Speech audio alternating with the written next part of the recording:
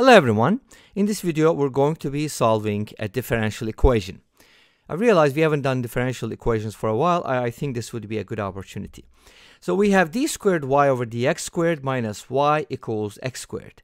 y is a function of x and d squared y over dx squared represents the second derivative of y with respect to x which we can also show as y double prime.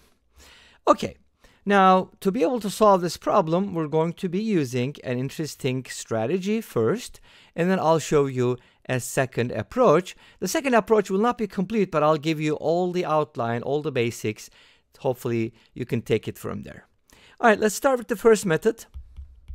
So for my first method, I'm going to do what is pretty common with these kinds of equations. We have x squared on the right-hand side. So this is not a homogeneous equation. If this was equal to 0, then it will be easier to solve and that will be considered a homogeneous equation. But guess what?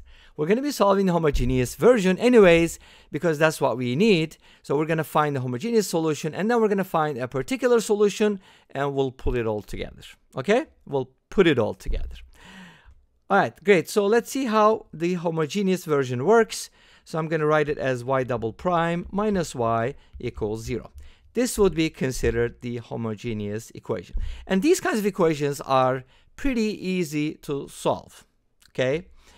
Uh, they're very standard, and what we do is we actually use a characteristic equation to solve these kinds of equations. They're kind of like difference equations or recurrence relations. Anyways, I talk too much, let's get to work. So I'm going to basically assume that y can be written as a times or some constant c sub 1, whatever you want to call it, e to the power a times, or let's call that uh, c sub 1, or just c, times e to the power some type of like, something like kx, okay? So that's what, what I'm going to do. Or I can assume that y can be written as e k to the x, because if we can use this without a constant, obviously, adding a constant to the equation would not make a difference. Anyway, so if you differentiate this expression once, you're going to get c times k times e to the power kx because the k comes from the derivative of kx.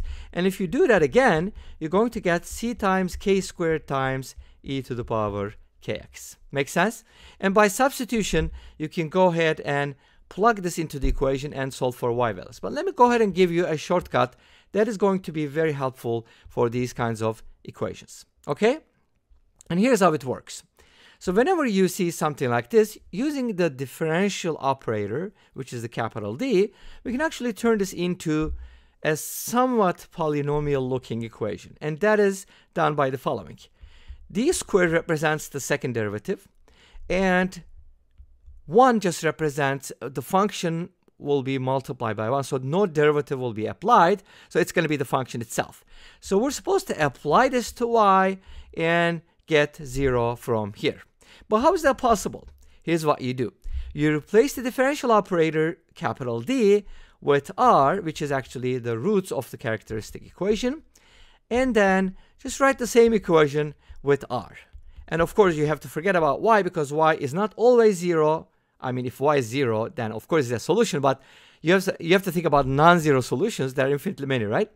So in this case, r squared minus 1 equals 0 will be our characteristic equation. That comes from this differential operator thinking. I know it's not very rigorous and these are not the technical terms, maybe, but I hope uh, this helps. Now, here's what we're going to do with this. Of course, solve for r, right? If you solve for r, you're going to get r equals 1 and r equals negative 1 from here. Now, what is that supposed to mean? It, this just means that y equals e to the power rx is actually going to be a solution. Do you want us to check? For example, if r is equal to 1, then y is going to be e to the x. And if you plug it into our equation, the second derivative, the first derivative is e to the x, the second derivative is e to the x. If you subtract y double prime minus y, you're going to get e to the x minus e to the x, which is 0. Well, what about the other one? If r is equal to negative 1, right?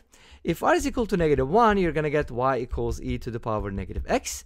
And of course, the first derivative is going to be negative e to the negative x. The second derivative is going to be the negative of the negative, which is positive e to the power of negative x. And of course, this is the same as y. Therefore, their difference will be, I mean, this, the other way around, will be 0 again, right? Great. So those two solutions actually work. In other words, we have two solutions, y equals e to the negative x and y equals e to the power x. But how do you put it together? Here's where the linear combination comes in. Okay, so we're going to take a linear combination of these two functions and write it as y equals c sub 1 times e to the x plus c sub 2 times e to the power negative x. Because e to the x satisfies the equation, any constant times that satisfies it. e to the negative x is the same way. When you put it together, of course, the second derivative is going to be the same as the first function, the original function. Therefore, their difference will be zero. You can definitely test this out uh, it'll, it'll always work, okay? So that is the y value. What am I going to do with this? Well, this is the homogeneous solution. So we could call this y sub h, I guess, right?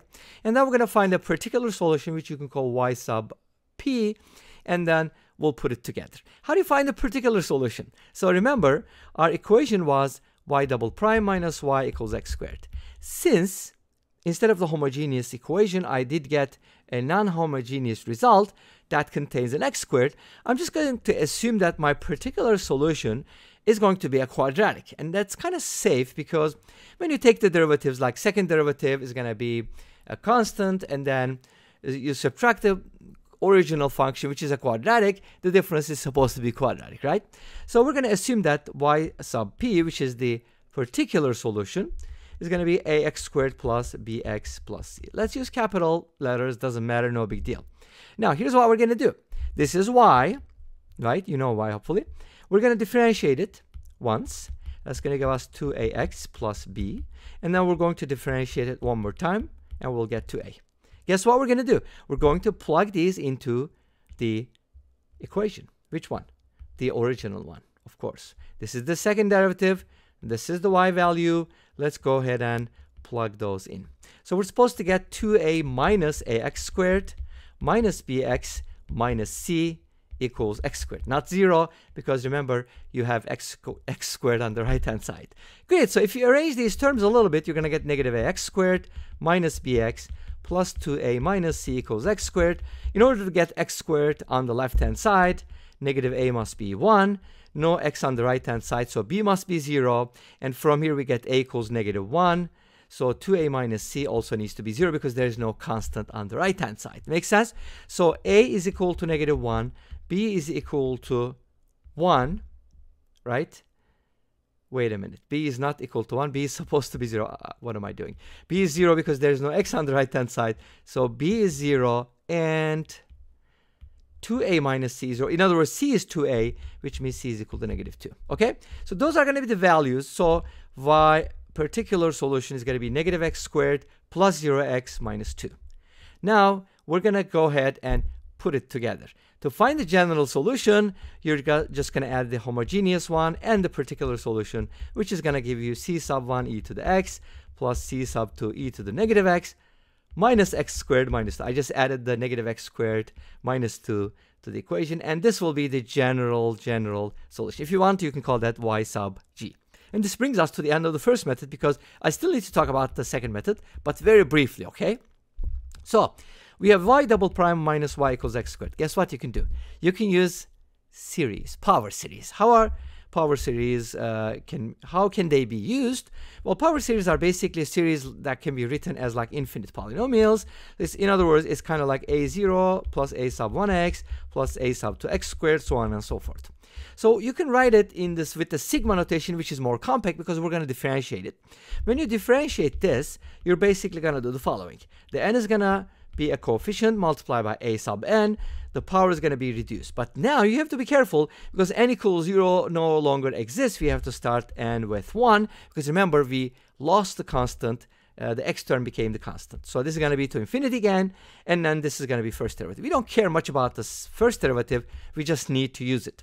And then differentiate this one more time. This time n needs to start at 2, and you're going to bring this n minus 2, so it's going to be multiplied by n, and you're going to get a sub n, x to the power n minus 2. Now guess what? we know y double prime and y as power series, and we're going to go ahead and plug them into our equation. So you're going to do the following. The rest is kind of easy. You're just going to go ahead and subtract this. And of course, you have to do some manipulations. That's why this method is pretty long, and that's why I don't want to get into details, but you can work out the rest. Now, we're supposed to set this equal to x squared and find the coefficients such that this is equal to x squared. Of course, this is going to be pretty painful, but let me tell you, this is very rewarding experience. But one thing you need to do is kind of play with the um, indices here. So I'm going to place n with n plus 2 everywhere because that's going to give me uh, a sub n so that I can combine these two guys and come up with a single sigma and then I can expand it and go from there. All right? And this brings us to the end of the video. Thank you for watching. I hope you enjoyed it. Please let me know. Don't forget to comment, like, and subscribe. I'll see you next time with another video. Until then, be safe, take care, and bye-bye.